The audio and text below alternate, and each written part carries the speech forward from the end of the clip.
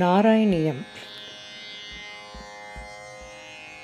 Dashakam 34, which describes Ramavataram, Rama Avataram, the incarnation of Lord Rama, and the sloka ends with Rama giving salvation and moksha to pious and Lord Rama meeting Hanuman on the banks of river Pampa, and Bhattadiri praying to Lord Guruvayurappan to protect everyone.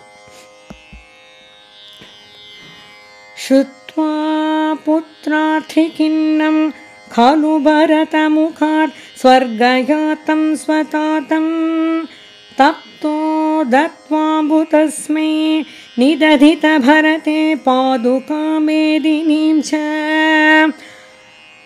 अत्रिं नत्वाथ गत्वा वनम् अतिविपुलं दण्डकं चण्डकायम्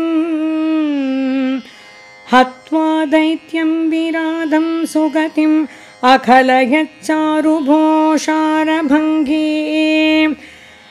नत्वागस्त्यं समस्ता शरनिकर सपत्राकृतिं तापसेभ्य प्रत्यश्रौषी प्रियैषी तदनु च मुनिना वैष्णवे दिव्यचापे ब्रह्मास्त्रे चापि दत्ते पति पितृसुह्यदं वीक्ष्य भूयो जटायुं।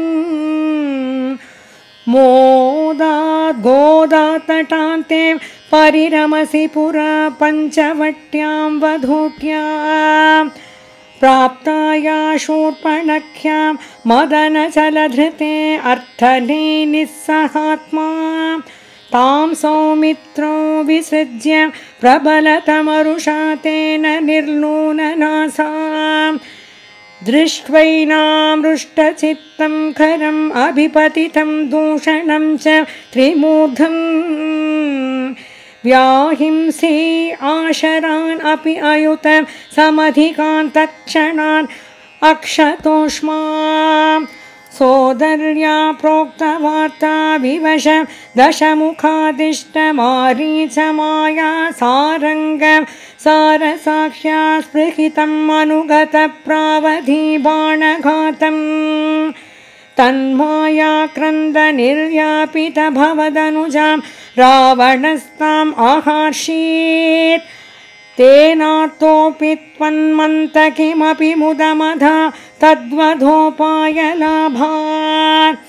भूयत्तन्वीं विचिन्वन् अह्यतदशमुखत्वद्वधूमद्वधेन तीम् उक्त्वा याते जटायौ दिवम् अथ सुहदप्रातनो प्रेतकार्यम्।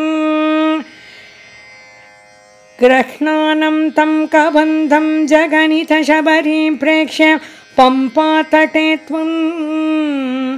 सम्प्राप्तो वातसूनुं भृशमुदितमना पाहि वातालयेश नारायण नारायण नारायण। ओम नमो भगवते वासुदेवाय श्री गुरुभ्यो नमः।